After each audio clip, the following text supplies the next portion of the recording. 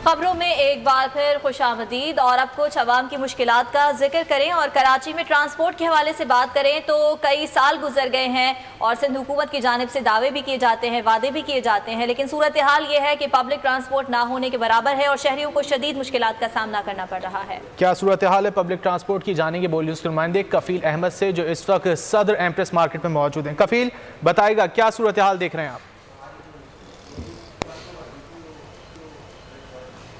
देखिए, हर गुजरते दिन के साथ कराची में जो ट्रांसपोर्ट की सफरी सहूलियात हैं, वो उनकी अदम फरहमी ने शहरीों को बहुत ज़्यादा मुश्किल से दो चार कर दिया है। कराची के जो मरकज़ी शाराएँ अगर हम उनकी बात कर लें, जो एक बड़े अगर बात कर लें शहरों की बड़ी तादाद, नॉर्थ कराची, लांडी, मलिर, शाह फैसल, बल्दिया से जब नौकरियों के लिए यहाँ पर आती है तो उन्हें इतने मसाइल का सामना करना पड़ता है।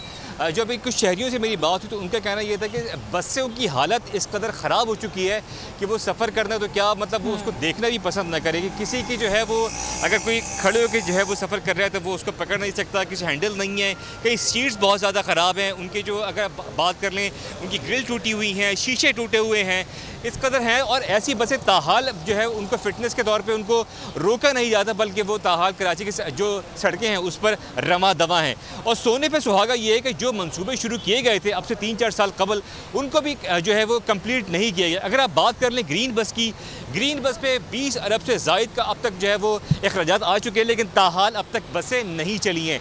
पीपल्स बसेस को जो है वो स्टार्ट किया गया था, लेकिन ताहाल वो बंद है। उसके अलावा पीपल्स पार्टी की जो सिंध गवर्नमेंट है, वो पिछले दस सालों के अंदर ट्रांसपोर्ट की सहूलियत फराम करने में मुकम्मल नाकाम दिखाई देती है जिस तरह कराची का इंफ्रास्ट्रक्चर तबाह हो चुका है, इसी तरह जो ट्रांसपोर्ट का निज़ाम है वो भी मुकम्मल तौर पर तबाह हो चुका है। बारहा जो है वो वादे किए गए कहा गया कि बसें लाई जाएँगी कराची के लिए लेकिन ताहाल कोई बसें जो है वो नहीं लाई गई हैं। यही वजूहत है कि शहरी इतने बदल हो चुके हैं कि वो कहते हैं अगर हम कंपेयर करते हैं पंजाब से या लाहौर से तो वहाँ पर जो सहूलियात हैं सफरी सहूलियात वो बहुत बेहतर हैं कराची के मुकाबले में।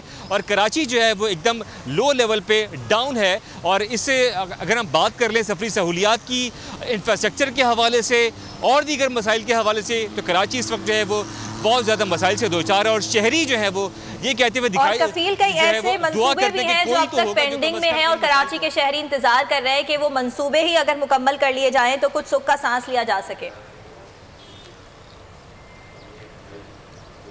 ये जिस तरह मैंने ग्रीन बस की बात की ग्रीन बस आज 2016 में स्टार्ट हुआ था लेकिन ताहाल इनकम्प्लीट है और पता नहीं खुदा जानता है कि वो 2021 में ही मुकम्मल होगा बसें आएँगी हम्म। नहीं आएँगी इसके अलावा जो है वो येलो बस का मंसूबा है वो इतनी सुस्त रवि का शिकार है कि अगर आप वहाँ जाके देख लें तो वहाँ गर्द गुबार डस्ट मट्टी इतनी है कि वहाँ से गुजरना महाल है लेकिन आज चार साल के बाद भी वो जो है वो ताहाल कंप्लीट नहीं है।